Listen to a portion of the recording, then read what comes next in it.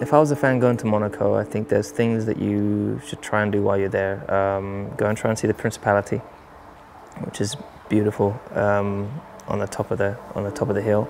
Check out the casino. Casino Square is amazing. Um, it's got some great shops there as well. You definitely got to go and walk around the track, or at least like take a bike or a car around the circuit. You got to go down to the beach. Um, what else is great there? I mean, just so, there's so much, so much beauty to be seen around Monaco. It's such a beautiful place. Uh, right now, I can't imagine living anywhere else. It's just, just uh, it's quite a magical place, and obviously now the summer's starting to turn out, so it's even more spectacular. It's a really small place, so you can pretty much get around anywhere.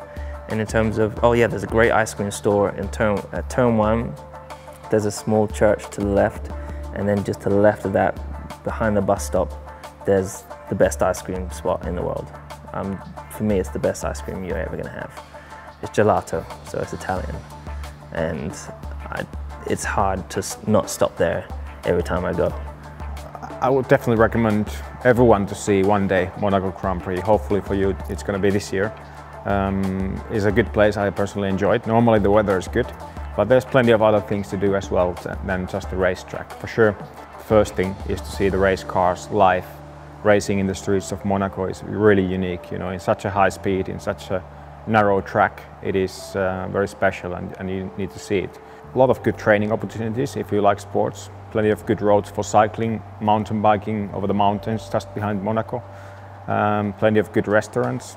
Um, Italy and France borders are really a few kilometers away, so you can choose French food or Italian food, so perfect.